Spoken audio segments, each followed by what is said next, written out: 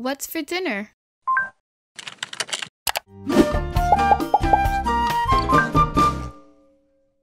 Everyone, I'm Chef Zee and welcome back to my channel, Chef Zee Cooks. Today I'm going to show you how to make an easy and delicious creamy chicken alfredo.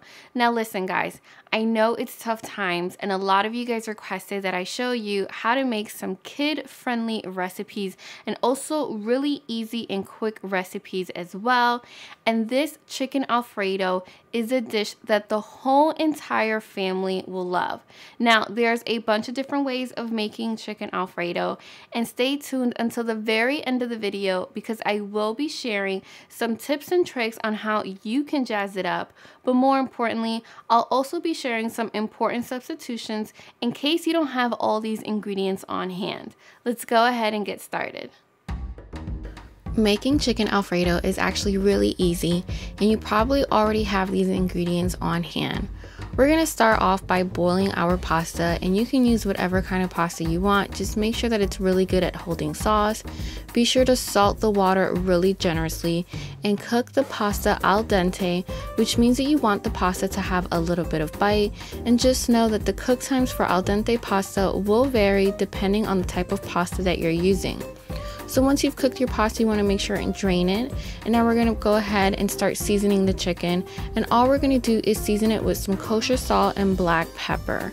You can also add some onion powder and garlic powder for added flavor, but just know that we will be using both fresh garlic and onions later on. So once you've seasoned the chicken, you want to go ahead and mix it all together until it's well combined. And the beauty of this dish is that the chicken does not need to marinate at all. Afterwards, we're gonna go ahead and we're gonna set our flame to medium and then we're going to add some oil into the pot. And once that oil has become nice and hot, we're gonna go ahead and add the chicken and we're going to brown it on all sides. You wanna make sure to mix the chicken here and there because we're actually going to cook the chicken all the way through. It's really important that you actually cut the chicken in about small pieces this way the chicken cooks evenly and fairly quickly. All in all, I would say that my chicken took about 7 to 8 minutes to cook all the way through and in total this dish is ready in under half an hour. So once the chicken is golden brown and cooked all the way through, we're actually going to remove it and place it off to the side. And now we're going to start making our Alfredo sauce. Bear in mind that there's a ton of ways of making Alfredo sauce and I'm showing you my quick and easy creamy way. So once you've taken all the chicken out, we're gonna go ahead and we're going to add some butter and you can use salted or unsalted butter, it's totally up to you. And once that butter is nice and melted, we're gonna go ahead and we're going to add our finely diced onions. Now you wanna make sure to dice your onions fairly small so that they disappear within the sauce later on. And if you have some picky kids that just don't like onions at all, feel free to omit it and use onion powder instead. We're to add just a little bit of salt and pepper to help those onions sweat and saute. And no worry if your butter and oil begins to burn a little bit, all that's doing is adding some extra flavor. So once we've sauteed our onions, we're gonna go ahead and we're going to add some broccoli. Now I love having my chicken alfredo with some broccoli because it's a great way to add vegetables to this dish.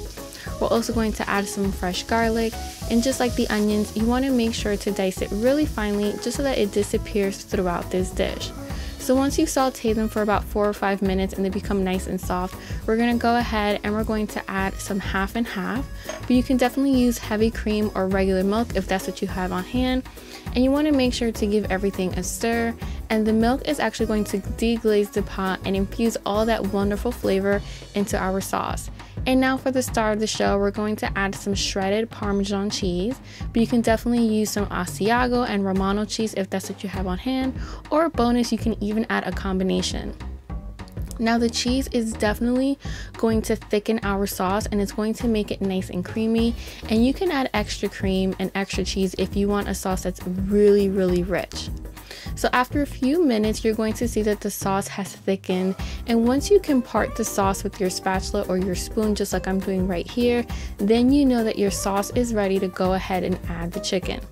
Now, this is totally optional. If you want, you can serve the chicken off to the side and place it on top when you serve it, or you can mix it into the sauce like I'm doing right here. And once that chicken is mixed in, we're gonna go ahead and we're going to add our al dente pasta and we're going to very gently just toss it into the sauce. Now the great thing about this is that the pasta will actually soak up so much of that alfredo sauce, which is going to really enhance the flavor.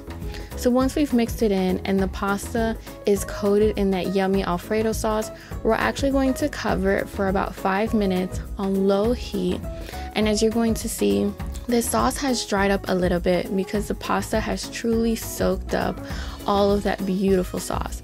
Now, like I mentioned before, if you want a sauce that's a little thicker and creamier, go ahead and add more half and half or more heavy cream if that's what you have on hand. So there you guys have it, my recipe for a creamy chicken alfredo. Whenever I eat this dish with my family, I make sure to add some extra cheese over top when I'm eating it because who doesn't love cheese?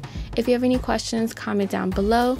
And until next week, I'm Chef Zee y buen provecho.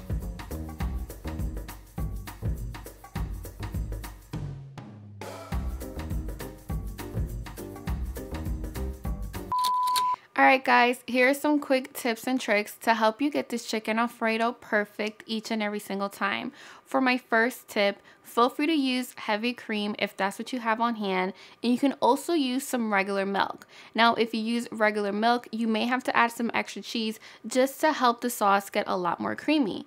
And speaking of cheese, you can definitely add more cheese if you want a sauce that's really nice, rich, and creamy. For my second tip, Feel free to use whatever type of pasta that you like. Just make sure that it's the type of pasta that's good at holding sauce. Bonus if it has some ridges, just like the penne that I used in today's recipe. For my third tip, you don't have to add the chicken into the sauce. In fact, if you want, you can cook the chicken and serve it off to the side when you're ready to have your Alfredo. Now for my fourth and final tip, Whenever you are warming up the chicken alfredo, you may have to add a little extra cream or milk just to bring the sauce back to life. Because when this dish sets, the pasta actually absorbs the sauce, so it may look a little dry. So if you add just a little bit of milk, the sauce will definitely become nice and rich again.